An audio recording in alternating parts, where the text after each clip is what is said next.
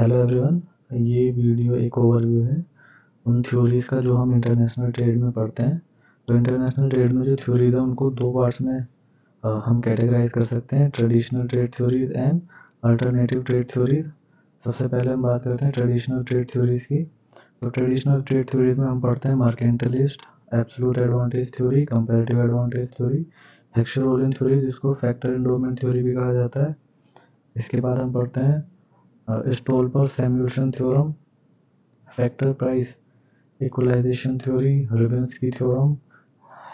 Haberler opportunity cost theorem and Leontief paradox अब क्योंकि traditional theories जो थी, वो बेस्ड थी on assumption such as constant return to scale, perfect competition, and same taste and preferences among the nations. पर ये assumptions जो हैं ये रियल वर्ल्ड में होल्ड नहीं करती, जिसकी वजह से ट्रेडिशनल थ्योरीज फेल होने लगी और हमें मिली रेस्पॉन्स में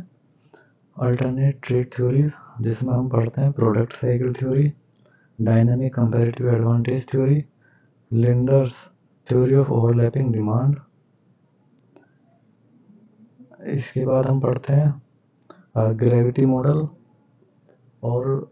लास्ट थ्योरी जो हम अल्टरनेट ट्रेड थ्योरी में पढ़ेंगे, वो है इकोनॉमिक ऑफ़ स्केल आने वाली वीडियोस में हम एक एक थ्योरी को समझेंगे. Thank you